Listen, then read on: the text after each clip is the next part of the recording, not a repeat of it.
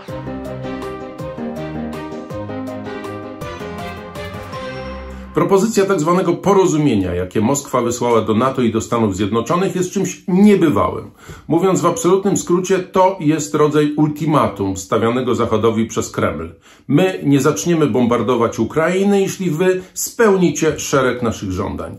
Te najważniejsze dotyczą także bezpośrednio Polski.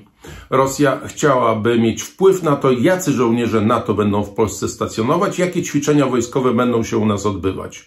Te żądania są absolutnie nieakceptowalne. Nie ma mowy nawet o ich rozpatrywaniu. Byłoby to faktycznie oddanie Polski do rosyjskiej strefy wpływów. Co w sytuacji, gdy za wschodnią granicą mamy tak poważne i narastające zagrożenie robi PiS?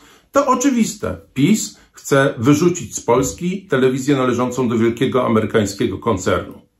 Jeden aspekt to wolność słowa. PiS nigdy nie był do tego przywiązany. Uważa, że to jedno wielkie zawracanie głowy. Dowodem, dowodem choćby to, że od kilku miesięcy dziennikarze nie mają prawa wstępu do strefy nad granicą Polski z Białorusią. Ale PiS myśli szerzej. Najchętniej odebrałby prawo dziennikarzom, którzy są krytyczni wobec rządu, prawo wykonywania zawodu albo po prostu odebrałby im miejsca pracy.